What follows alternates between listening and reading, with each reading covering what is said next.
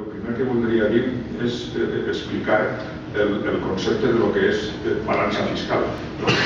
Se parla molt de, de balances fiscals negatives, sobretot balances fiscals negatives en el que afecta als nostres territoris, però eh, eh, en definitiva la balança fiscal és una, una diferència, és una, una magnitud és una diferència entre dos altres magnituds. Per una banda, com poden observar aquí en, en, en la pantalla, doncs estan els ingressos, els ingressos que té eh, l'Estat i per una altra banda estan les despeses. No?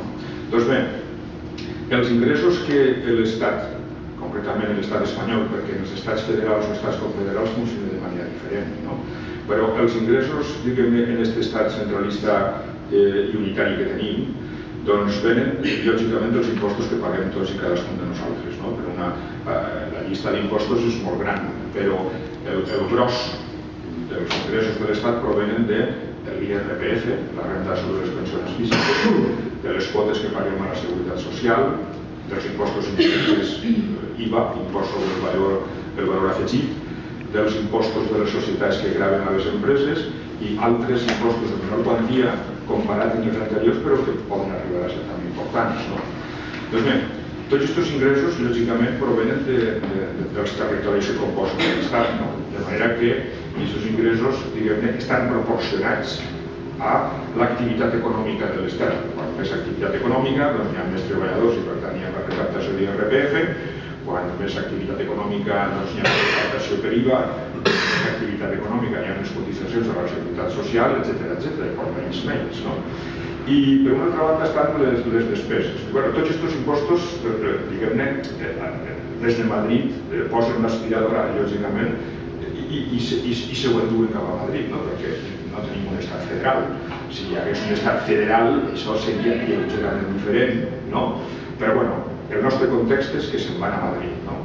I, lògicament, des de, des de Madrid el que fan, diguem-ne, és enviar els diners altra vegada als distints territoris que composen eh, la nostra estructura d'estat de, autonòmic, no? I aquestes eh, despeses que l'Estat fa en cadascun dels territoris pues, provenen o, de sous i salaris que l'Estat paga al personal eh, al servei de l'administració de l'Estat, siguin funcionaris o no, o sigui, eh, en posició aprovada com treballadors, diguem-ne, contractats al servei de les empreses públiques, també se compta, doncs eh, són les compres que l'Estat realitza en el territori on actua i eh, són compres de béns inventariables i sobretot el, gros de les despeses que l'Estat en els territoris ve a través de les inversions, les inversions en infraestructures, les inversions en hospitals, en escoles, etc. Lògicament, la balança fiscal és la diferència entre una cosa i una altra. No? Si un territori genera 1.000 euros i l'Estat se'n gasta només 500 en el territori del que parlem, doncs lògicament la, eh, la balança fiscal és negativa si l'Estat, eh, diguem-ne, que és la nostra situació, ja ho veurem després, no? si l'Estat, diguem-ne, recapta menys impostos dels que gasta o els que injecta, bé directament o bé a través dels governs autonòmics, eh? doncs, lògicament, eh, la balança fiscal és positiva. No? Doncs bé, eh, això és el, el, el, el concepte bàsic no? per a entendre tot, diguem-ne, tot el tema de, de, de balances fiscals negatives i d'espoli fiscal, etc. Eh, així com n'hi ha un acord no, en definir què és el concepte de balança fiscal, el que no n'hi ha un acord, diguem-ne, és en, en, en les metodologies de com calcular-les. No, aleshores, bàsicament hi ha dos grans metodologies de càlcul. Per una banda està el criteri del benefici, que és el criteri que utilitza bàsicament l'estat espanyol, no? I després està el criteri d'exclusió. El criteri de benefici funciona de la següent manera. Eh, per exemple, la inversió que l'Estat eh, pot realitzar en el Museu del Prado per obres, per compra de material, etc etc. doncs, segons el criteri del benefici, aquesta eh, inversió no se comptabilitza a la Comunitat Autònoma de Madrid, sinó que se centrifuga a tots els territoris en proporció al, entre cometes, eh, participació en el PIB global. No? Per tant, de la inversió, doncs, a lo millor si l'economia del País Valencià representa un 10% del PIB, un 10% del que s'ha invertit allà ens ho comptabilitzen a nosaltres. Si l'economia del Principat doncs, és un 20%, doncs un 20% de la inversió que s'ha fet en el Museu del Prado li la sumen a Catalunya, argumentant que el Museu del Prado ens representa tots, etc. O, per exemple, eh, les obres de l'AVE Madrid-Barcelona, doncs eh, en Guadalajara hi ha una estació de l'AVE no? que és utilitzada per 25 persones, tan sols 25 persones, que a més a més està a 17 quilòmetres de la capital de Guadalajara. Doncs bé, la inversió de les vies de ferrocarril de AVE que atravessen Guadalajara i de la inversió del ferrocarril en Guadalajara la centrifuguen no? i aleshores no consta diguem-ne com una inversió d'una red radial estatal, sinó que eh, la comptabilitzen a Guadalajara o a Zaragoza o a Barcelona o als territoris que passen. No? I, o, o, per exemple, els sous que paga l'Estat de l'administració central de Madrid, l'administració general de l'Estat, també els centrifuguen, és a dir, no se consideren com a ingressos o inversions que l'Estat fa en Madrid, sinó que reparteixen un 10% dels ingressos correspon al País Valencià, un 20% a Catalunya, un 15% a Extremadura, etc. etc. Bé, i eh, clar, eh, eh, el que passa és que ja, en principi, diguem-ne, aquest argument doncs, eh, doncs té problemes, com per exemple, les inversions que se fan en el port de València, que és el port de Madrid, i se no se s'ocupen. I se corresponen únicament al País Valencià quan realment les inversions ahir se tindrien que centrifugar també a Madrid perquè Madrid, diguem-ne, és el nucli principal de l'interland del port de València. És a dir, que eh, este criteri, l'apliquen en una discrecionalitat molt, molt gran. I després l'altre sistema bàsic de, de comptabilitzar les balances fiscals doncs, és simplement el que utilitza la Unió Europea. És a dir, la inversió se comptabilitza a favor del territori que la realitza. No? Eh, per exemple, si la Unió Europea doncs, eh, construís o ajuda a construir en un futur, no sabem quan, l'eix mediterrani, doncs una part, diguem-ne, eh, doncs, la part que correspon al tram de l'estat espanyol la comptabilitzarà l'estat espanyol, la part del francès el francès, etc etc. Bé, són els dos criteris bàsics i fonamentals i eh, diguem-ne, aquesta idea crec que és important mantindre-la perquè una de les grans discussions que apareix sempre quan se parla de publicació de les balances fiscals o se trata del tema de les balances fiscals, el primer que diuen no, és que com no hi ha acord sobre els criteris, no arribarem mai a cap conclusió.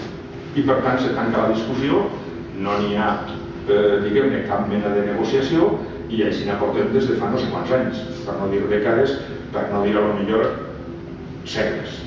No, però anem a deixar en dècades. Vale? Bé. Eh, cada vegada que s'ha demanat des d'àmbits de, des diversos la, que se publiquen les balances fiscals, és dir, que volem saber l'Estat exactament quan recapta i quan gasta en cadascun dels territoris, doncs sempre han dit que no. De manera que hi ha autors que diuen que les balances fiscals és el secret més ben guardat del regne. Sempre és no. Les balances fiscals no se publiquen, les balances fiscals no se publicaran, etc etc. Només ha hagut, només ha hagut diguem-ne, un moment, ja veurem després, que s'han publicat que segon en l'any 2008. Es posicionarà, per tant, a aquest punt, de moment, el lliçó per a després.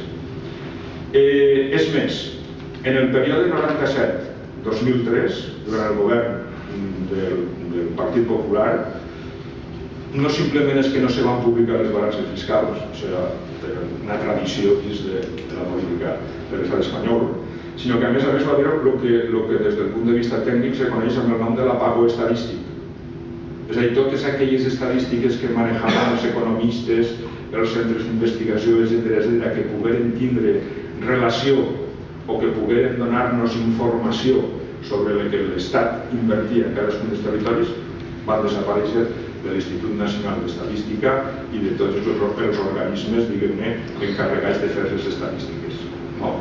Clar, després mires, clar, lògicament, eh, era el moment en què eh, eh, tota capital de província tenia que estar a menys de dues hores de Madrid i per tant se tenien que enviar diners a... Per exemple, el Partit Popular argumenta això.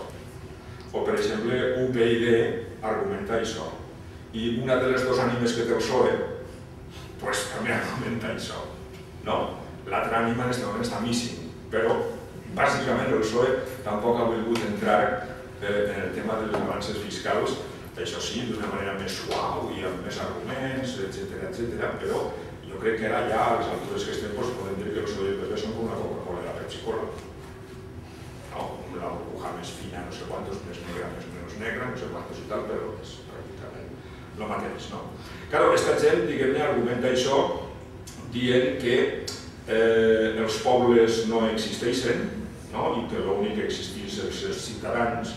Per tant, només volen drets individuals i moltes vegades retallats, però drets individuals, i quan parlem de drets col·lectius no n'hi ha drets col·lectius. No hi ha drets col·lectius de pobles, no, no hi haurien drets col·lectius d'altres races, etc etc etc. no? El que passa és que ells diuen que, clar, si, si el cens, resulta que al final ells diuen Eh, tots som individus, però hi ha uns individus que som nosaltres que sí que tenim un poble, que és el poble espanyol. O sigui, hi ha una trampa total, no? Doncs bé, eh, els arguments que, que diguem que fan aquesta posició, a banda dels ideològics que acabo de dir, de drets individuals i drets col·lectius, doncs són que, que, doncs que vulguin o no vulguin, estem en un estat descentralitzat, no? I que vulguin o no vulguin, diguem hi ha competències transferides no? I, i, o no vulguen, pues, eh, diguem-ne, encara que no siga un estat federal ni confederal i tal, doncs lògicament una vegada els impostos arriben a Madrid, està clar que els impostos se distribueixen de manera desigual per als territoris. No? Perquè si ells pensen que nosaltres tots som ciutadans i que com a ciutadans tots som iguals, en teoria, que els ciutadans visquerem on visquerem, tindríem que tindre la mateixa inversió per capita en el moment en què hi ha ciutadans que viuen en altres comunitats que tenen més euros per càpita que nosaltres, doncs lògicament la despesa, la despesa està territorialitzada. És una cosa ben evident i ben clara. No? I eh, diguem-ne, eh, eh, esta gent, doncs jo penso que, que, que continuen igual. En aquests moments, diguem-ne, sí que com que les plaques tectòniques s'estan manejant, les plaques tectòniques de la transició s'estan manejant a poc a poc, molt a poc a poc, però es comencen, es comencen a xirriar no? d'alguna manera, pues, per exemple, el PP de Catalunya sí que admet la despesa territorialitzada, la que de la seva manera. Però ja, ja no ho neguen, això ja no ho neguen. No? Bé, eh, un altre argument, per exemple, és que quan se planteja, bueno, anem a publicar o volem que se publiquin les balances fiscals, immediatament apareixen els ideòlegs i els economistes al servei de l'Estat, que hi ha molts, no? i diuen no, no, no val la pena que publiquem això perquè com hi ha distintes metodologies no ens posaríem mai d'acord. I per tant els resultats no serien significatius i no podríem arribar a cap mena d'acord. No? Doncs bé, eh, destacar que, eh, ara ho veurem ara després, en el 2008, en el 2008 el govern Zapatero i el tripartit, és l'època de la discussió de l'Estatut de Catalunya de tipus federalitzant que li van passar el, paraules textuals de guerra al cequillo i lo hemos. No, pues en el 2008, diguem el govern Zapatero, per un acord amb el tripartit, en el context aquell, va publicar per primera vegada les balances fiscals en l'any 2008, fent referència no a la situació del 2008 sinó del 2005. No? Doncs bé, eh, ho dic per la distinta metodologia i com no va publicar les balances fiscals segons la metodologia del benefici i segons la metodologia del flux territorial.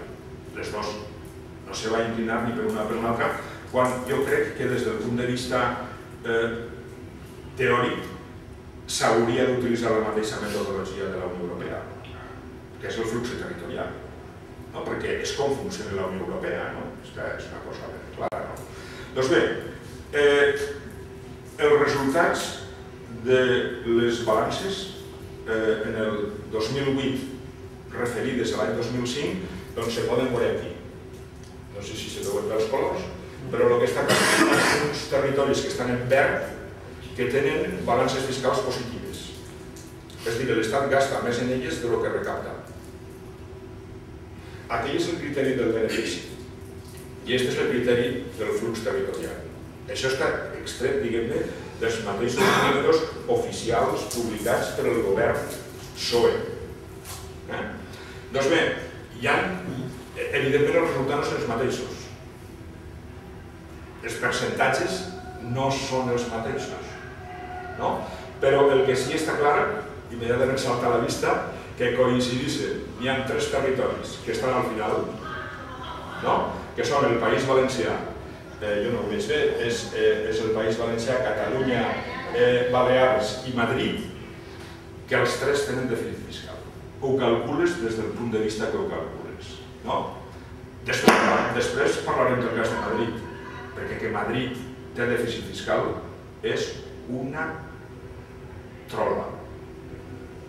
És una mentida. Ho dic perquè la setmana passada el president de la Comunitat de Madrid va dir que ells estaven maltractadíssims no? i que volien una reforma del sistema de finançament. I jo aquestes declaracions, de l'única manera que les puc entendre, després de caure en la cara de vergonya i tot això que ens passa quan sentim aquesta mena de declaracions, que ens indignem no? i entres en, en rauxa total, l'única explicació que li puc donar a aquesta intervenció del president de la Comunitat de Madrid és tirar-li un cable a Mariano Rajoy per a que renegocia el sistema de finançament. Vull dir, Madrid també està, no és un tema que vingui de Catalunya i dels independentistes catalans, per tant, anem a tirar un cable, no? Reformant el sistema de finançament i ho presentarem a la resta de l'Estat no com una pressió de Catalunya, sinó com una pressió de Madrid. És l'única explicació que li puc trobar, perquè si no és d'una caradura impressionant. Després ho veurem. No? Doncs bé, com poden observar, diguem-ne, que se calculen el mètode que se calculen, doncs l'argument que la distinta metodologia no ens durà a res és falsa. Perquè ens du a que n'hi ha tres territoris amb dèficit fiscal. Exagerat. No? Que, que, que són els territoris nostres, els països catalans. No? Bé. Eh, aquí se veu, diguem-ne, perquè en el 2008 va haver una reforma del sistema de finançament, pactat entre el govern Zapatero i, eh, diguem-ne, el tripartit. No? I ara estan dient, també, diguem-ne, des de fons del Partit Popular, que aquest sistema, diguem-ne, que està pactat per Zapatero i tal, s'ha de reformar. Jo penso que això és un altre submarí que estan tirant com per a vendre una reforma del sistema de finançament que a ells els interessa, diguem-ne, per a intentar apaivagar, diguem-ne, el que s'està produint, el moviment que s'està produint en, en Barcelona, no? I no anar cap al pacte fiscal, perquè això pareix ser que de moment han dit que no, però sí cap a una reforma del sistema, de manera que diu, no és el que vosaltres voleu, no? però no us preocupeu perquè canviarem el sistema de finançament i per tant vosaltres, eh, diguem-ne, tindreu més de lo que teniu que seria una, una diguem-ne, una continuació de la política del país al cop, si des de Catalunya acceptaren això, no? Doncs això posen un poc més de diners i per tant jo, lo, lo de la meva identitat, lo de la meva no sé quantos i tal, pues, ho vendré, això pot fer-ho Convergència i Unió qualsevol moment, si guanya per majoria absoluta. Eh? Això pot fer-ho Convergència i Unió, si guanya per majoria absoluta i, i, i diguem-ne, no depèn d'altres partits, diguem-ne, que siguen clarament sobiranistes com per a poder-lo controlar. No? Bé, eh, un altre argument que, que s'utilitza en, els, en, les, en, les, en les xarles aquestes que fan en Madrid, en intereconomies i en, en tot, tot, el, tot el muntatge este, no? Doncs sempre n'hi ha un que diu ah, no, no, és que eh, quan se parla de balances fiscals doncs també se tenen que tindre en compte les balances comercials. I aleshores vosaltres, no, els catalans en general, no us podeu queixar perquè és veritat que teniu balances fiscals negatives, però resulta que teniu balances comercials positives. És a dir, vosaltres veneu no, productes a la resta de l'Estat no? i per tant això, els beneficis que traeu compensen les balances fiscals. Però bé, jo he posat aquí un exemple. No? Eh, un fabricant de camises que li diuen Josep Badia doncs ven camises a Casimiro Fernández de Ciudad Real i lògicament Josep Badia treu un benefici de la camisa o de les camises que ven. No? I, per tant, és possible afirmar, des del punt de vista econòmic, que Josep Badia té una balança comercial positiva respecte a el que viu a Ciutat Real. No? Però resulta que Casimiro Fernández forma part d'un estat no? que recapta l'IVA, que recapta les quotes de la Seguretat Social, que recapta, diguem-ne, l'impost sobre societats, com hem dit abans, no? i que després de recaptar li torna a José Badia, a Josep Badia, perdó, el 34% de lo que eh, Josep Badia ha pagat. I això és un any rere any. I la meva pregunta és, és veritat que Josep Badia ha guanyat amb les camises, però el que ha guanyat amb les camises se li ho han endut en concepte d'impostos, no? I Josep Badia, diguem-ne, pot vendre les camises un any sí o un altre any no perquè el segon any pot enviar-les a Tunes, per exemple, no? Però el que està clar és que l'aspiradora sobre els impostos i que només torna el 34% dels impostos que paguem és any rere any. La pregunta és on està el benefici de Josep Badia i on està el fet que les balances comercials no, contrarresten i equilibren les balances fiscals. És un argument que no té, des del punt de vista econòmic, pràcticament ningú sentit, però, clar, ells utilitzen aquesta mena d'arguments, diguem-ne, per a desfer el nucli de l'argumentació, i és que volem saber les balances fiscals i que volem que s'acabi el dèficit fiscal. No? Bé, que per cert, des de que se va publicar i la diapositiva que hem vist abans ja no és un tema de quatre independentistes bojos i radicals, no sé quant de cas, sinó que està acceptat per el propi estat espanyol n'hi ha dèficit fiscal. Ja ho diu la mateixa, la mateixa, el mateix estudi. Bé, un altre argument. Un altre argument que este, diguem-ne, eh, és més utilitzat per part de l'esquerra, eh, per part de, de, de l'esquerra, que és la solidaritat interterritorial. L'argument seria les balances fiscals no poden ser equilibrades, hi ha territoris que són més rics que tenen que tindre balança fiscal negativa perquè aquests diners, diguem-ne, se necessiten per a donar suport als territoris que estan menys desenvolupats i hi ha que ajudar-los. No? Doncs bé, això seria, diguem-ne, el mateix argument el mateix argument que utilitza la Unió Europea amb els fons de solidaritat interterritorial i d'ajuda no? a que diguem-ne, equilibrar diguem els nivells de desenvolupament de tots els estats que composen la Unió. Ara bé, eh, aquest argument, diguem-ne, encara que des del meu punt de vista és més sòlid que els anteriors, este argument, des del meu punt de vista, l'esquerra té que tindre en compte. Més, sinó que nosaltres me pareixen de risa, com és este, almenys hi ha que considerar-lo. No? I, i, i, i què, què, què, què és d'ahir quan ho consideres? Doncs el que és és el que està aquí en el quadre este de baix del tot. La solidaritat, tal i conforme l'ha utilitzat el govern espanyol, no obeeix, diguem-ne, a ninguna raó objectiva i, s'ha convertit, diguem-ne, en una repartidora de diners de manera discrecional. Què vol dir amb això?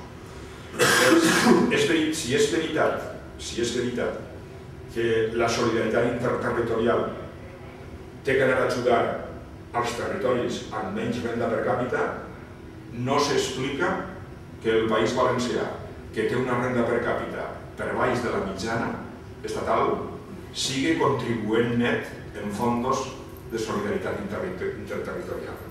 És dir, nosaltres tindríem que estar rebent diners perquè tenim una renda per càpita per baix de la mitjana. Punt número 1. Doncs no és veritat que la solidaritat interterritorial funcioni en criteris racionals.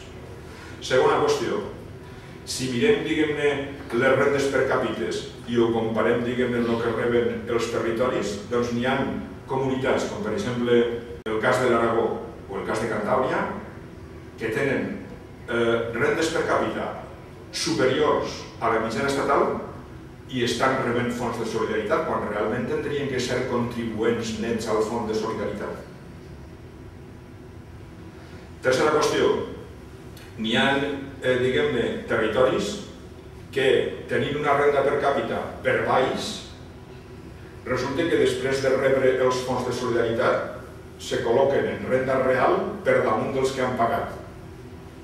És com si, per exemple, jo, o els valencians, nosaltres, invitem a sopar als extremenys i als andalús. No vull, no vull citar noms, eh? perquè no és això. No, he comès un error. Perdoneu, eh? perquè no, no hi ha res en contra dels extremenys, eh? com a tals extremenys. Però és com si, diguem-ne, els que eh, els invitem a sopar, no?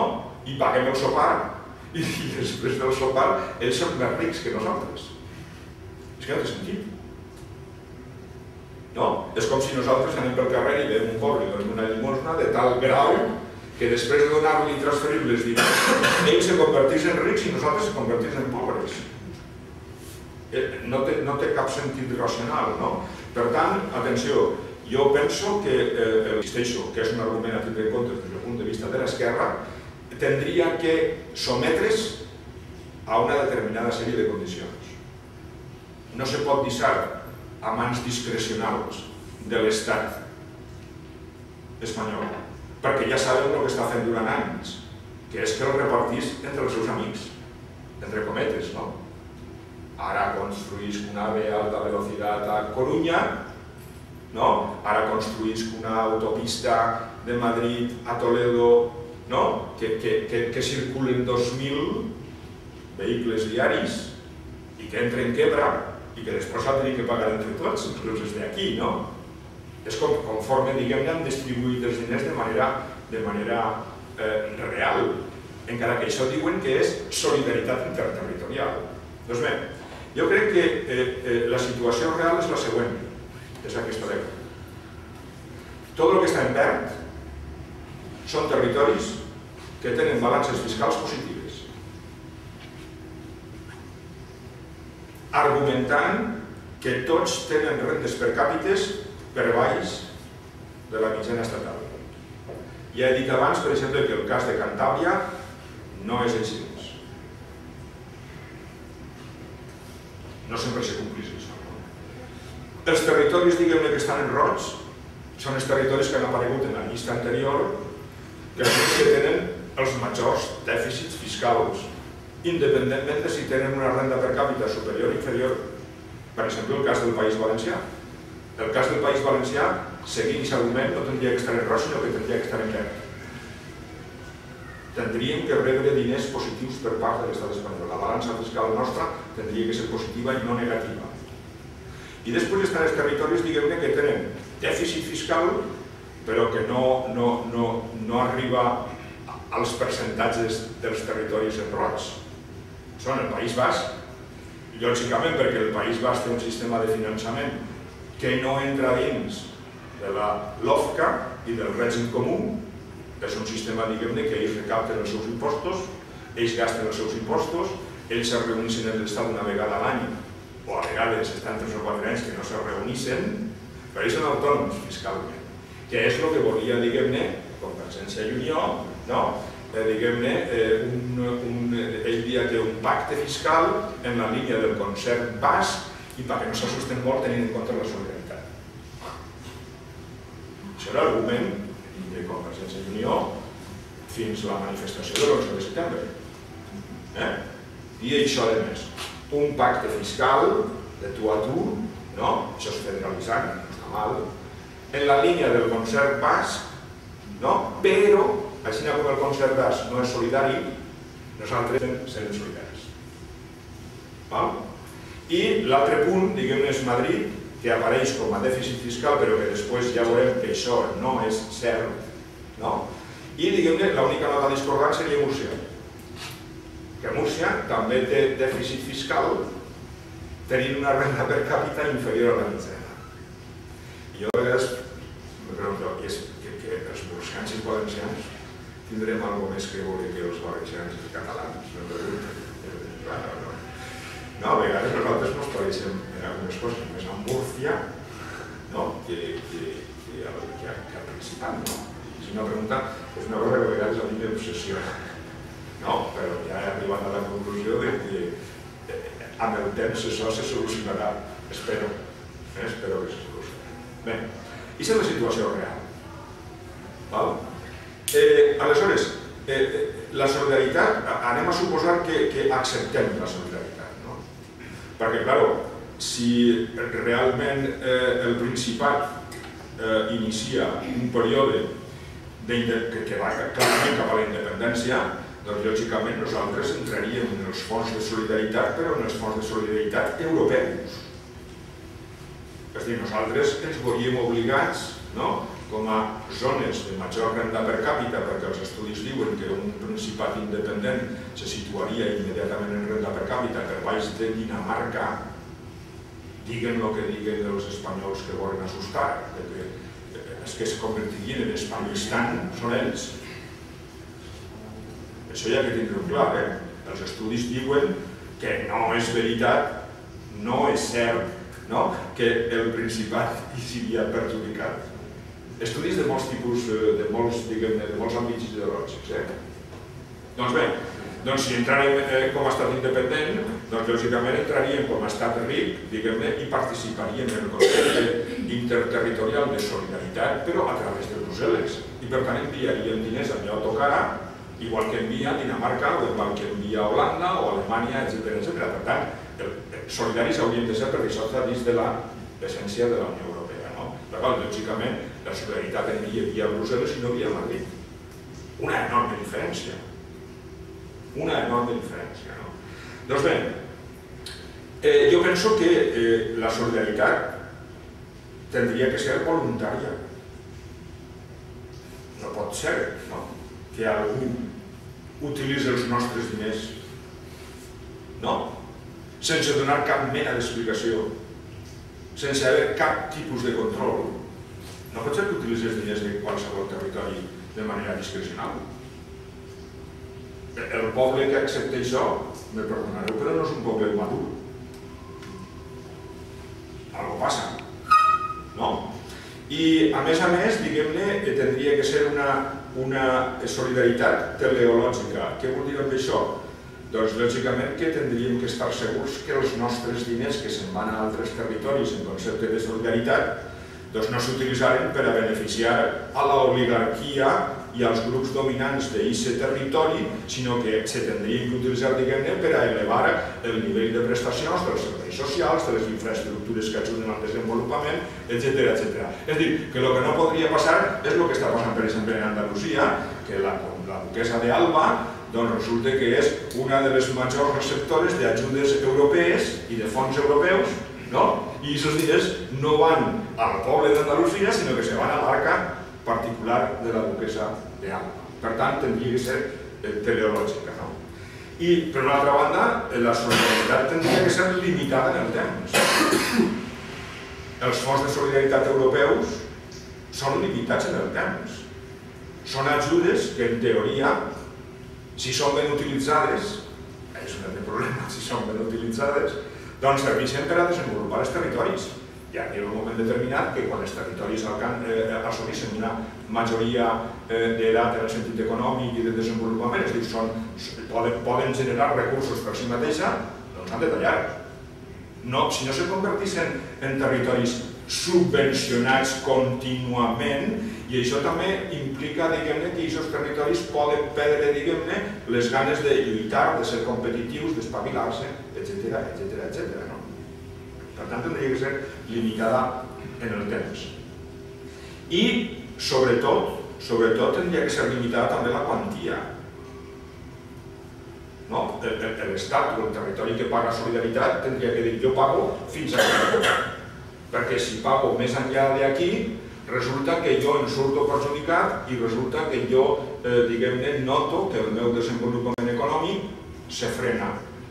No? I aleshores, per exemple, això se comenta molt en el cas d'Alemanya, eh, després de la unificació de la, de la RCA, doncs eh, se va plantejar per part dels estats rics un, eh, un recurs en el Tribunal Constitucional alemà perquè van començar a notar que els fons que se, se transferien per al desenvolupament i, i la igualació de la RDA amb la RCA doncs frenaven el, el desenvolupament econòmic dels més rics eren els que més aportaven. I aleshores el Tribunal Constitucional alemà doncs, va decidir, basat en estudis tècnics, perquè això diuen els estudis tècnics, eh, que la màxima o el màxim percentatge de solidaritat interterritorial que se podia transferir des dels rics als pobres era el 4% del producte interior brut. Perquè els estudis diuen que aquell territori que transferís més del 4% del producte interior brut immediatament veu que les seues taxes de creixement disminuïssen. I per tant tu no pots, diguem-ne, per molt solidari que sigues, hipotecar el teu desenvolupament econòmic, per una banda, i qualsevol estat que faci això i que lastre a les zones més productives, doncs lògicament al cap d'uns anys el creixement econòmic de tot l'estat se'n va a baix. És com si eh, s'ha utilitzat moltes vegades el símil de matar a la gallina dels ous d'or, no? Una, és un mecanisme semblant a aquest que jo estic dient en aquests moments, no? Eh? Per tant, lo de la solidaritat tindria que ser, tindria que ser... Bueno, la qüestió, eh, eh, el dèficit fiscal que suportem el, el conjunt com a mitjana dels països catalans és el 8% del producte interior. El doble, el doble de lo que, diguem-ne, els estudis tècnics o diguem-ne els països que funcionen d'una altra manera, etc etc, accepten com a, com a raonable. És a dir, en aquests moments no hi ha, repetís diverses vegades si voleu, no hi ha cap territori en el món que suporte dèficits fiscals del 8% del producte interior brut. Cap. Som una anomalia internacional. No n'hi ha, les dates no existeixen. Bé, eh, aleshores, això ja acaba. Això, diguem-ne, eh, tal, eh, en què se plasma? Com? Quants diners se'n van? No? Doncs mireu, ahí està. En el Principat, anualment 16.500 milions d'euros que se'n van del Principat i no tornen. Això significa que cadascú dels catalans del Principat doncs suporten un dèficit fiscal, paguen a l'Estat 2.200 euros més del que després reben en concepte d'inversions, en concepte de sanitat, en concepte d'educació, en concepte d'investigació, en tots els conceptes que vull. En el llibre, al final, jo ja no sabia què buscar, inclús vaig buscar la repoblació forestal Sí, sí. Diners per a regulació forestal aquí? Zero. Diners per a regulació forestal en Castilla i Lleó? Hasta ahí arriba. Ja no simplement és educació, sanitat, investigació, no, no, no, autopistes, no, no, no, és, és arriba fins ahí. No? En el País Valencià transferim anualment 6.500 milions d'euros que se'n van i no troben. Això significa que cadascú de nosaltres, cadascú dels que estem sentats aquí, doncs ens... En l'últim manifest dels, perdoneu, la parèntesi, però en l'últim manifest dels federals, estos que han aparegut en Madrid, no sé quantos i tal, neguen el concepte d'espoli fiscal. Això sí, accepten, entre cometes, ho diu el manifest, la injustícia fiscal. ¿Vale? Y yo me pregunto, yo me pregunto, doncs, estos intelectuals, mira que, no, mira que filen prim, no? Perquè, clar, una injustícia social repetida en el temps, any rere any, dècada rere dècada, a més negada, no? a més ocultada, no? i a més a més insultant-nos dient que només volem la pela i que som insolidaris. No? no sé el que pensareu, no? Perquè això va més enllà de la injustícia fiscal, no? Això va al recochineo fiscal, és un espoli fiscal. No? Perquè ens tindrien que agrair d'alguna manera, no? Monaco, el d'Extremadura, no, no tindria que dir el que diu, no? Tindrien que dir reconèixer, no? Que, doncs pues no. I les illes? Les illes pues, tenen 3.800 milions d'euros que se van i no tornen, que això són 3.400 euros per cada una de les illes. És a dir, que per càpita, atenció, per càpita, les illes són les més perjudicades de tots. Per càpita. No? Encara que en magnitud absoluta no. Eh?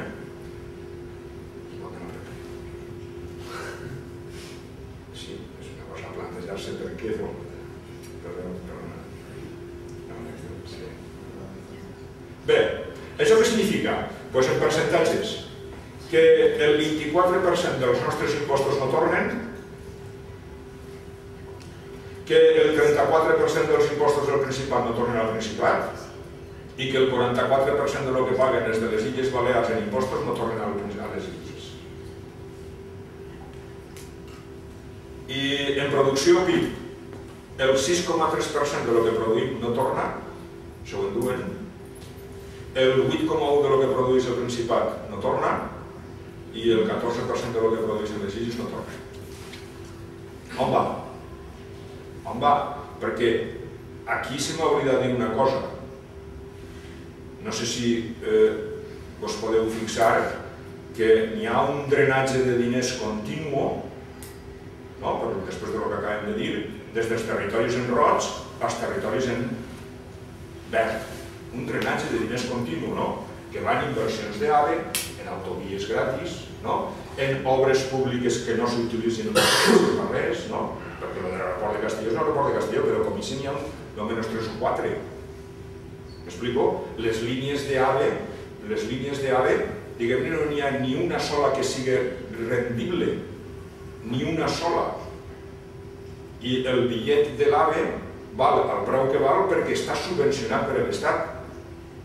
És dir, tots paguem els viatges de luxe dels executius que van de Madrid-Sevilla, de no sé quantos i tots. No n'hi ha ni una sola. No?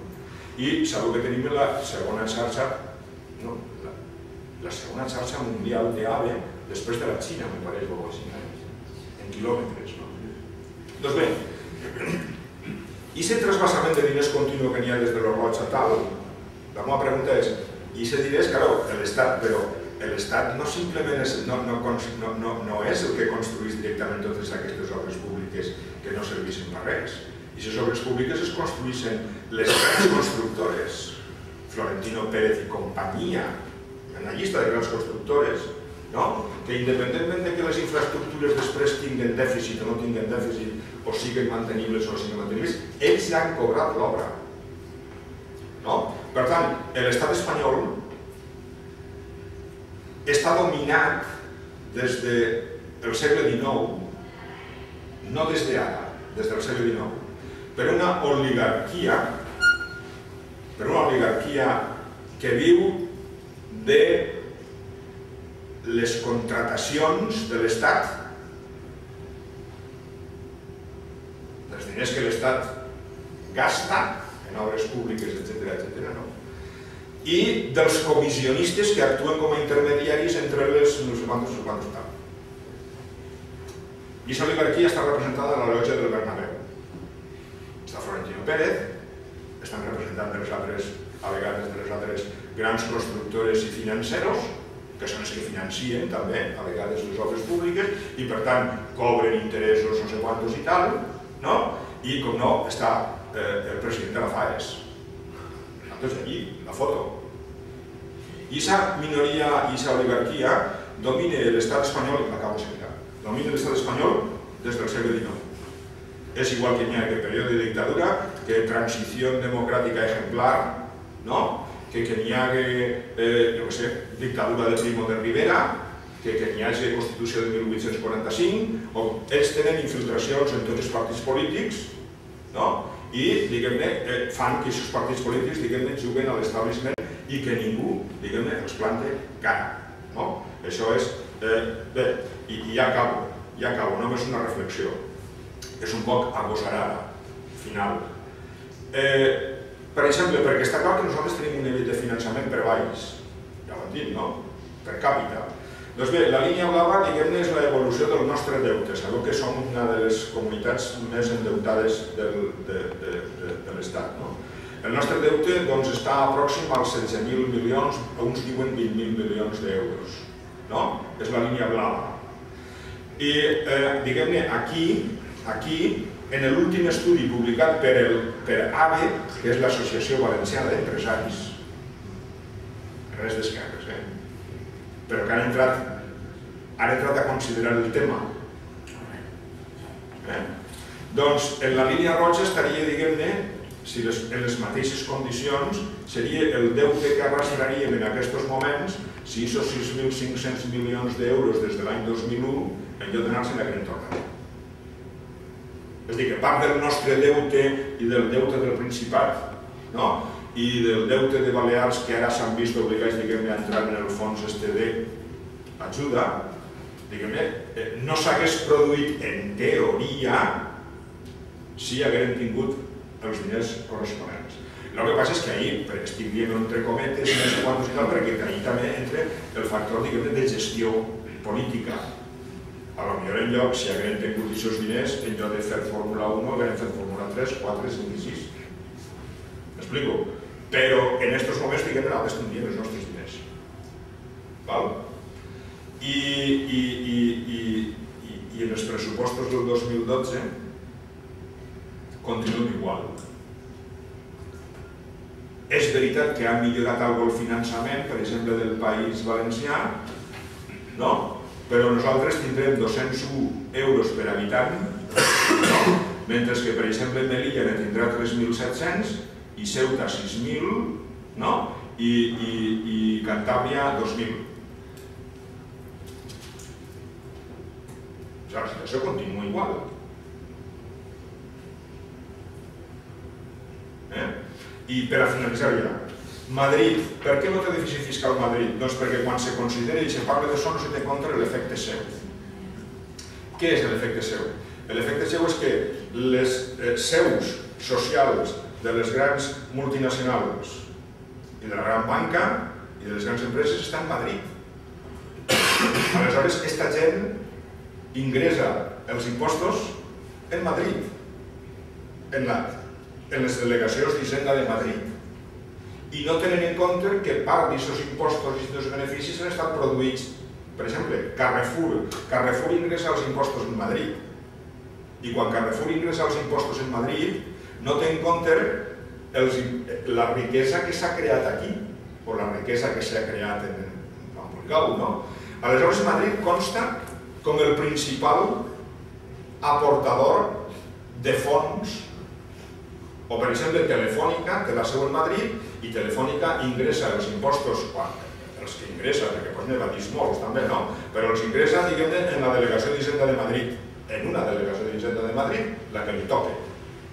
No?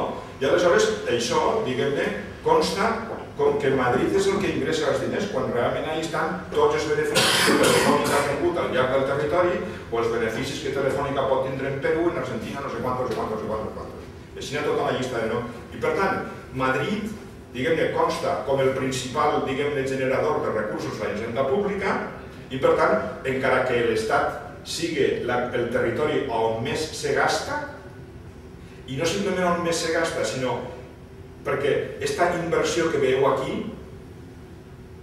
és una fantasia, perquè el que importa no és el que diu el pressupost que se van a gastar, sinó el que se realitzarà. No sé si m'explico. Una cosa és el que està en paper i una altra cosa és el que acabaran gastant-se a final d'any en inversió real. No? I per tant, sabem que en Madrid, per exemple, tingui la financiació que tingui, en Madrid n'hi ha un 111% de compliment dels pressupostos. Se gasten sempre més diners del que estan pressupostats. Doncs, si teniu en compte que l'efecte seu, això passa en totes les capitals, el que passa és que en els països federals això se controla i se corregeix. No? Per tant, diguem-ne, si tenim en compte que Madrid sempre tindrà dèficit fiscal per molt que se gasten, perquè n'hi ha una bombolla artificial en els ingressos que produeixen les grans multinacionals que estan instal·lades allí, doncs Madrid no té dèficit fiscal. Eh, per tant, en el mapa ahí que hem vist de color que està el País Basc, que està Madrid, està Múrcia, tendríem que llevar Madrid i el tema del de, control de l'efecte seu se tindria que plantejar de manera política i contestar-li als, a, diguem-ne, als, als que estan impulsant que Madrid té dèficit fiscal. Això és el que jo volia dir. Després suposo que en el, en el, en el, en el debat doncs, hi, haurà, hi haurà coses que preguntar, aclarir, etc. etc.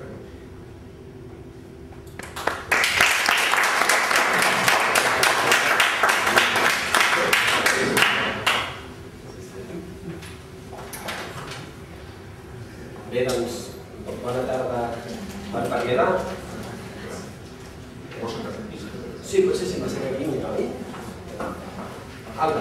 jo faré segurament és una mica més, més global, no, no m'he centrat tant en el, en el tema de, de l'espoli fiscal, sinó una mica, des d'endavant estem intentant explicar aquesta pròpia idea de sobirania. Com sabeu, el, el Principat, diguéssim, l'escenari que s'ha plantejat en el que eh, la burgesia catalana està apostant molt fort per, per un replantejament, un canvi de, de relacions amb, l'estat espanyol, un canvi de relacions amb Madrid, enteníem que és molt important eh, abordar realment què vol dir sobirania, si realment podem parlar de si som sobirans. No? És a dir, podem, podríem trobar-nos en un hipotètic escenari en el que el Principat, perquè no ens enganyem, no? és una moguda purament principatina de la burgesia de Barcelona, fos d'aquí 4 anys independent i independent com ho és ara Grècia, quina és la independència de Grècia? Llavors, aquí volíem plantejar una mica què vol dir la independència i realment què vol dir ser sobirans. En quin context ens trobem? No? Un breu context. On estem, els països catalans, ara, al segle XXI? Uh, bueno, des dels anys 70, si diré coses que potser són molt òbvies, les repassaré una mica per sobre per, per simplement una mica fer un petit repàs de la situació on estem. Des dels anys 70 uh, arriba un moment en què l'economia productiva real, l'economia ja no dona més de si. El capitalisme necessita créixer, créixer, créixer. O sigui, no sé si esteu una mica habituats a aquesta idea de diners, mercaderies, més diners, és a dir, qualsevol flux de funcionament del capitalisme passa per tenir al final d'un procés més diners dels que tens al principi, perquè si això no es produeix és tan fàcil com que si un directiu d'una empresa arriba i diu no, no, és que jo no he presentat beneficis, però en canvi he donat feina a 3.000 treballadors, he donat a eh, 50.000 persones, els he donat cadires que necessiten per seure, les he vengut, he produït no, una economia real, ja, però hi ha beneficis? No, no hi ha beneficis, ja, ja fet, no? hem fet una economia real, productiva. Ah, no hi ha beneficis? Doncs te'n vas al carrer. És a dir, el capitalisme funciona i s'entén amb una necessitat constant d'acumulació, de tenir sempre més beneficis, més beneficis. Tu no tens beneficis, surts fora de la lògica del capitalisme. Llavors, això als 70 no veiem que això ja no dona més de sí. I com que és impossible seguir produint més i més i més, perquè vivim en un món finit, les capacitats de, diguéssim, d'explotar a la classe treballadora, diguéssim, comprant la seva força de treball i emportant-se la plusvalua, com que això arriba un moment que això ja no dona més de sí, es comença a construir una economia paral·lela a la real, que és el que s'anomena l'economia financera, l'economia que arriba a ser fictícia. No? I per això ens trobem que des dels 70 fins a l'actualitat es creen totes aquestes bombolles. La bombolla financera, la bombolla immobiliària, però en realitat no hem d'entendre aquestes bombolles com si fos, ah clar, és que mira, és com un huracà, no? mira, ha arribat la bombolla. No, és la sortida que va tenir el capitalisme des dels 70 per seguir mantenint unes taxes de benefici d'acumulació constant superant l'economia real. Ens trobem el cas d'Islàndia, el típic cas no? en el que l'endeutament d'Islàndia no? I, i els diners ficticis que tenia en forma de, de, productes financers era 80% al PIB. És a dir, l'economia fictícia s'havia multiplicat per 80. A més a més, ens trobem en un procés claríssim de, de, de terciarització de l'economia. No som la perifèria de l'estat espanyol, com molt bé ha explicat el, el Celestí, però a més a més som la perifèria d'Europa. Per tant, d'alguna manera, l'economia s'ha o sigui, els últims anys, bueno, des, de, des de tot aquest procés, el pagament de tot aquest procés, s'ha encaminat cap a cobrir uns, un, unes, oferir uns serveis concrets, molt especialment, en el nostre cas, la construcció i el turisme, amb tot això que comporta de precarització de la nostra economia. És una economia precària perquè, per definició, els llocs de treball que es genera són precaris, perquè, per definició, la, el, els tipus de relacions i de xarxes socials i humanes que genera són xarxes precàries. Llavors, ens trobem ara, exacte, o sigui, concretament i cada vegada més, amb un deute descomunal, un deute a nivell estatal, un deute a les autonomies es troben un deute que no sabem com es pagarà, és un deute que no es pot pagar, o sigui, és impagable. O sigui, si algú, si algú diu, no, no, perquè és mentida, o sigui, el deute no es pot pagar. No es pot pagar perquè aquesta economia que diem que s'ha construït a partir de la financerització de l'economia és molt més gran que la capacitat real de produir. Aquesta diferència és molt important entre l'economia real i l'economia fictícia financera. Però no és un deute que hagi aparegut per una suposada mala gestió, que també hi ha hagut mala gestió, evidentment, però la mala gestió per si sola no és suficient per explicar què ha passat. O sigui, aquí s'ha construït un sistema polític i un marc polític de la Unió Europea que ha fomentat que això es produeixi. És a dir, tots els tractats tots els plantejaments ideològics de la Unió Europea, perquè no són tècnics, no són tecnòcrates que estan allà posats per gestionar, no, no són ideòlegs, ens han vengut el neoliberalisme com si fos una qüestió purament tècnica. No és veritat, ha sigut la ideologia, el marc teòric, el marc conceptual que ha permès que això passi. Però és que, a més a més, el deute que tenim ara prové en gran part de les pròpies relacions econòmiques que s'han establert en la pròpia Unió Europea, entre la perifèria de la Unió Europea i el centre de la Unió Europea. Per exemple, simplificant molt, Alemanya, no, com diguéssim el motor que es diu, ha produït béns i serveis per sobre de la seva capacitat de consum. O sigui, Alemanya ha produït neveres, o, igual, eh, o ventiladors, o cotxes, o, o mobles, per satisfer el mercat intern alemany, però clar, això no dona això dona beneficis, però encara dona més beneficis satisfer el mercat intern de tota la perifèria d'Europa. L'estat espanyol, Grècia, Portugal, Itàlia... Què passa? Es troben en uns països que no tenen aquesta capacitat, diguéssim, d'absorbir tota aquesta oferta. Com es compensa això? Amb l'endeutament. I amb l'endeutament de diners que provenen dels grans pols de, de capitals del centre d'Europa. És a dir, el centre d'Europa produeix més del que pot consumir ell mateix, ho ven a la perifèria, però a més a més, com que té diners sobrants de, de, de la seva activitat econòmica, dona aquests diners a la perifèria perquè puguin comprar els seus propis eh, ventiladors o les seves pròpies eh, cotxes. Per tant, arribem a la lògica de que els diners, o gran part dels diners, en què el sud d'Europa, la perifèria europea, s'han endeutat, ha sigut per comprar productes que d'altra banda tampoc s'haguessin vengut. Per tant, el deute que, per exemple, ara té Grècia amb Alemanya és un, és un deute que ha servit per comprar, en gran part, missils, eh, tancs, eh, a les empreses alemanyes amb diners alemanys que els grecs s'han endeutat. I clar, ara els grecs es troben que no poden tornar els diners als alemanys que han servit per comprar-li coses als alemanys. Per tant, que els alemanys, qui s'ha beneficiat han sigut els alemanys com de ens deia Celestí, tampoc és una qüestió purament d'Alemanya contra Grècia, sinó estem parlant que hi ha unes oligarquies, no? hi ha una burgesia, que són qui s'han beneficiat. D'alguna manera, és imprescindible entendre aquesta relació entre el deute i el dèficit comercial que s'ha produït en la pròpia Unió Europea, que és el projecte polític de la burgesia del centre d'Europa. I paral·lelament a tot això que passa per ser en la pròpia naturalesa de la construcció europea, ens trobem, com molt bé explicat el Celestí, uh, amb una, uh, una desvertebració territorial, en el cas dels països catalans, perquè vivim en un estat, estem dins d'un estat, en el qual la burgesia dominant, el projecte polític que té, és el que molt bé explica ell. És a dir, grans zones faraòniques que han servit per no per cobrir unes necessitats reals de la població, sinó per cobrir uns beneficis empresarials que aquella minoria que, està, que es troba a la llotja del Bernabéu, exactament.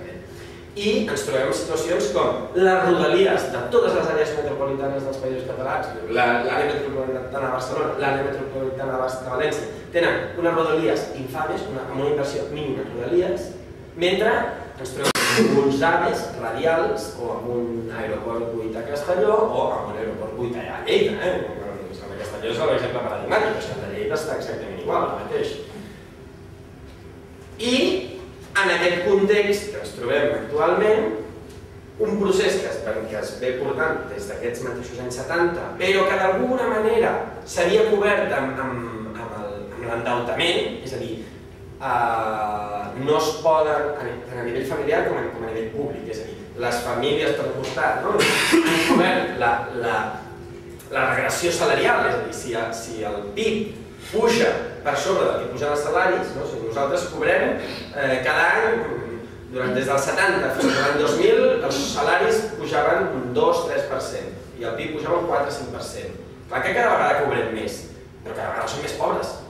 Llavors això d'alguna manera s'ha suplit amb l'endeutament, per un costat amb l'endeutament de les famílies i per l'altre costat amb l'endeutament de les pròpies institucions. Però arriba un moment que això no, no es poden acumular de forma indefinida i per tant ara d'alguna manera ja el capitalisme. Sap la careta, ja li és igual el rostre humanitari, ja li és absolutament igual mm, quedar malament o que es, que es vegi d'una forma explícita que no té cap mena de rostre humà, fent desnonaments, fent retallades massives, i ara ja té via lliure per fer tota mena de polítiques repressives, retallades de tota mena, com les que estem patint. I un altre tema que normalment no en parlem perquè fa una mica de mandra, no? perquè queda com una mica lluny, és el tema de la dependència alimentària energètica que tenim actualment als països catalans. els països catalans ara mateix produïm una borrada de per exemple, d'alimentació vinculada al món de càrnic, no? exportem, principal, algunes zones de Principat, exporten una gran quantitat de, de, de productes càrnics, però en canvi importem matèries primeres per fer aquest, aquest producte càrnic, com per exemple pinso. És a dir, no tenim una ordenació eh, territorial racional per cobrir les necessitats de la població, sinó per cobrir els beneficis empresarials d'aquella minoria que gestiona l'economia en Barceles per obtenir el màxim de beneficis. En conclusió, tenim unes estructures de producció i de decisió que van molt més enllà de votar cada 4 anys, perquè realment les decisions no és quan votem cada 4 anys, al servei del capital, completament allunyada de les necessitats de la població. I a més a més ens trobem, com bé diem, centres de poder i de decisió allunyats del poble, com serien, per exemple, la llei de Un altre exemple que, que posaré abans. Clar, llavors nosaltres ens parlem obertament. És possible la independència dels països catalans sense anarcapitalisme. O sigui, és possible, podem parlar de la independència que teòricament reivindiquem en aquest marc que ens estem plantejant. Doncs hi ha unes quantes assumpcions que hauríem de tenir en compte. I crec que això, ja fins i tot, la gent que és més neoliberal, fins i tot amb això estaria d'acord. La primera, el capitalisme ha col·lapsat a nivell social, a tots els nivells.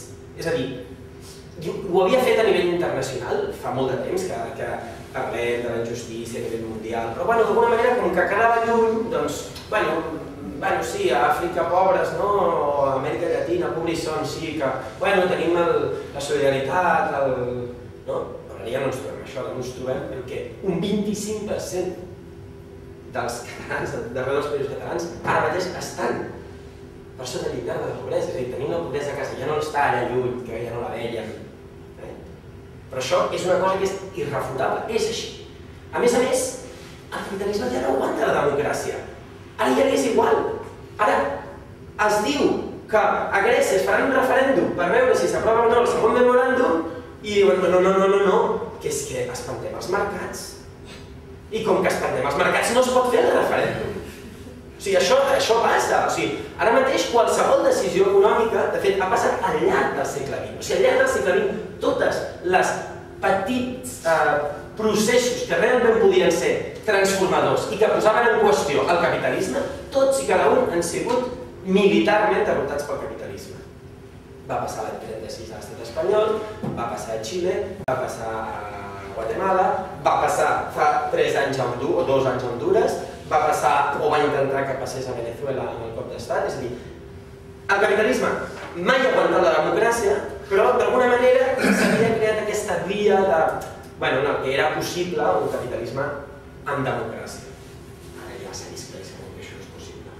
Però és que la pròpia supervivència del planeta diguéssim, està en qüestió. O sigui, el, la vida de, de, de la humanitat, és a dir, qualsevol indicador que agafem de mm, capacitat que tenim de seguir extraient petroli, però no només petroli, com si és que qualsevol matèria primera, és a dir, el, el, el coure, per dir-ho manera, ja s'ha arribat al màxim de producció del coure, és a dir, tots els estudis diuen que en els propers anys, per molt que vulguem a buscar noves mines de coure, ja no hi ha més coure.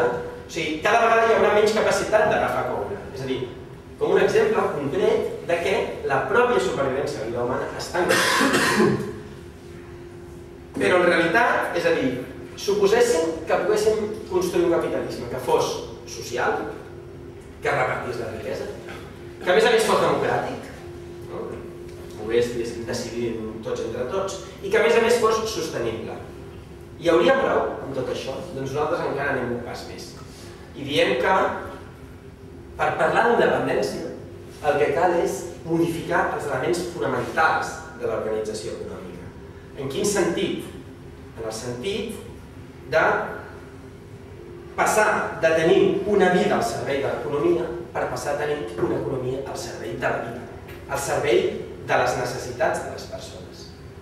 I això només es pot fer transformant les relacions aquestes que plantejàvem de tot s'ha de mesurar en funció dels beneficis que genera cap a altres models de relacions humanes no capitalistes. I ara, és una mica, la idea és una mica és presentar què seria aquesta, què vol dir realment sobirania econòmica des d'aquest plantejament de superació del capitalisme. És a dir, només podem parlar de sobirania econòmica si superem el capitalisme. Si no, som dependents depenent d'unes institucions, dependents d'una pròpia dinàmica que ens empobreix i que ens condemna a, a, a ser, abans parlant de ciutadans, però és que ja no és ni ciutadans, és que som clients. És que mm, jo no sóc cap defensor del concepte de ciutadania, però és que tant de bo poguéssim dir que encara som ciutadans, és que som clients, si, si tu tens diners et pagues uns serveis públics, si no tens diners ja no te'ls pagues. Per tant, ja no som ni ciutadans, que és un concepte que des de l'esquerra havíem criticat per reformista o per burgès, però és que ni tan sabol som ciutadans ara. Una mica repetir això que ja el que està dient, és dir, són, són elements indestriables, no podem només dir, no, canviem, canviem les fronteres, no? ara, doncs, bueno, en comptes de ser l'estat espanyol, ara serem un estat independent, hi ha un canvi de cromos, no, per nosaltres la qüestió va molt més enllà.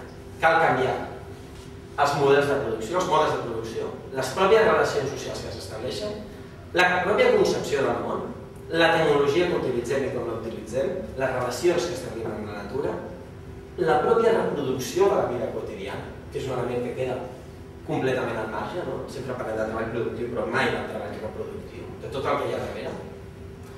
I eh, tots aquests elements són indestriables. Sé que estic anant molt ràpid, m'agradaria poder parar-me en cadascun d'ells, si de cas més endavant, si voleu, podem discutir-ho. Perquè sí que m'agradaria presentar, i aquí hem, intentat com fer un mapa amb aquelles idees claus de, que són necessaris entendre una sobirania econòmica que pugui superar el capitalisme d'alguna manera. I la primera és, quina és l'estratègia de desenvolupament? És a dir, vale, serem independents, però serem independents per fer què? Què és el que volem? Ja sabem què és el que ha estat fent l'estat espanyol, diguéssim, des, de la des de la concepció de l'estat modern, no? parlava dels 200, 300 anys, ja sabem què ha fet aquest estat espanyol. Però nosaltres ens hem de plantejar què és el que hem de fer nosaltres. I per tant, el que anem a fer és el que anomenem l'estratègia de desenvolupament. Això és una idea que diferents autors han agafat, nosaltres agafem sobretot de la gent del seminari Taifa, no? que parlen de l'estratègia de desenvolupament basada en el model autocentrat. I per l'altre costat, aquesta idea de superar la propietat privada de la producció. I és el que anomenem democratitzar l'economia. Em sembla que tindrem prou Queda poc, però no tindrem. Llavors, quines són aquestes idees claus? Per començar, ens hem de eh, progressivament deslligar d'aquesta idea de que l'economia és mundial. O sigui, això no té sentit. O sigui, això ha sigut una sortida del capitalisme per seguir creixent, però no té sentit, és a dir, no podem plantejar tot a nivell internacional, o sigui, no podem plantejar tota l'economia a nivell internacional. Això no vol dir que de demà s'ha de tancar les fronteres i fer-ne l'autarquia, però ha d'haver un procés progressiu d'anar-se fent cada vegada més autònom respecte als mercats mundials. I en tot cas, bueno, en parlarem, després en parlarem. La segona idea clau és que l'economia com estava dient, ha d'estar ideada per garantir les necessitats i les demandes internes. No té cap sentit que estiguem produint coses per exportar i en canvi no estiguem produint aquelles coses que nosaltres necessitem per les necessitats bàsiques de la nostra població. Amb el capital forani adaptat a la nostra estratègia de desenvolupament. És a dir, que és el que deia abans, no es tracta de tancar les fronteres, però sí es tracta de dir, vale, aquella, aquelles inversions econòmiques que vinguin de l'exterior han d'estar sotmeses a la regulació i a les relacions socials del territori. És a dir, no pot ser que vingui, no? És això que diu, és que hem de ser més competitius. Hem de ser més competitius perquè si no les empreses no venen. Perquè si no les empreses no venen, clar, se'n van a Tailàndia i Tailàndia les relacions. És a dir, el que no pot ser és que amb aquesta òptica de ser més competitius a nivell internacional tendim cada cop més a reproduir les relacions laborals que s'estan donant altres llocs del món. I a més a més, basat en les capacitats del nostre territori. És a dir, d'alguna manera, tot i que és un, no, en la, no en el sentit que utilitza els mitjans de comunicació quan parlen d'hem viscut per les, les, hem viscut per, per sobre les nostres possibilitats, que és una mentida en el, en el sentit que ells utilitzen, però sí que és necessari plantejar-nos-ho en el sentit de quina és la nostra capacitat com a territori. Perquè no podem viure eternament expoliant com a primer món a altres països. no pot ser que estiguem consumint la, el, els aliments, les matèries primeres, l'energia que prové d'altres països. Perquè a llarg termini, o sigui, això està clar no? que és una situació estable, o sigui, això no pot perdurar el temps quan 50 anys, 100 anys, 150, però no molts més. I què, què, què vol dir quan parlem de democratitzar l'economia? Cal un control públic del sector financer hi ha gent que parla de nacionalització de la banca, hi ha gent que parla de... Mm, no, no, és que la banca ja en si ja no té sentit plantejar-la, per tant, ni banca pública ni privada, fora banca. En qualsevol cas, sigui en el format que sigui, el, el que no pot ser és que qui decideixi quines són les inversions que es fan, és a dir, quina, quina és l'economia que funcionarà, sigui, estigui en mans privades, perquè llavors el que estem dient que les decisions econòmiques s'allunyen de la això fa que l'economia no sigui democràtica, que és el que passa actualment. Cal que la planificació econòmica es faci amb participació social. Aquí, i una, una idea que és important destacar, és que aquí no es tracta de donar una fórmula màgica, sinó una línia d'actuació, és a dir, hem de tendir cap aquí. O sigui, hem de plantejar, plantejar models alternatius que ens permetin d'alguna manera superar la situació actual, han la línia de fer que capes cada cop més àmplies de la població puguin prendre les decisions econòmiques. No pot ser que les decisions que afecten al 100% de la població ara mateix estiguin preses per una minoria tan, tan, tan, tan, tan